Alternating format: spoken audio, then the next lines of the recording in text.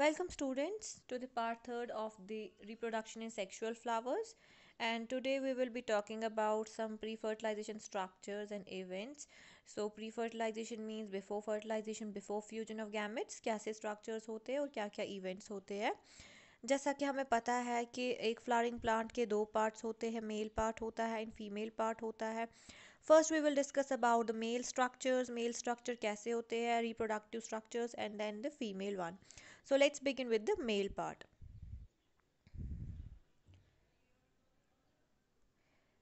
जैसा कि आप देख सकते हैं, यहाँ पर दिया गया है stem and microsporangium and pollen grains ये तीनों हिस्से जो है, ये मेल रिप्रोडक्टिव पार्ट्स हैं फ्लावर के.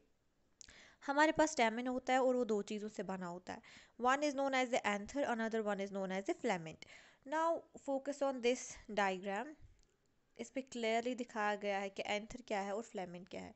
जो ये ऊपर वाला आप हिस्सा देख रहे हैं it's called anther it's bilobe bilobe की बिल्कुल इस तरीके से है। दो हिस्से जुड़े हुए आपस में तो ये this is anther and you can see this stalk like structure इसको बोलते हैं filament this it is filament जो ये फ्लेमेंट होता है, ये अल्टीमेटली फ्लावर के साथ प्लांट के साथ जुड़ा हुआ होता है।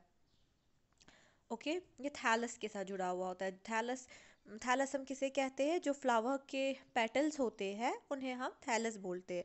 अगर ये हमारा फ्लावर है, जो ये ऐसे साइड में पंखुड़ियाँ बनी है, इनको हम थैलस बोलते हैं। तो ये इसी थैलस के साथ जुड़े हुए होते हैं वाया फ्लेमेंट फ्लेमेंट का काम यही है that it attaches the anther to the thallus thalamus fine अब जो ये स्टेमिन होता है, ये फ्लावर पे कितने होंगे? दो होंगे, तीन होंगे, दस होंगे, ग्यारह होंगे, हज़ार होंगे।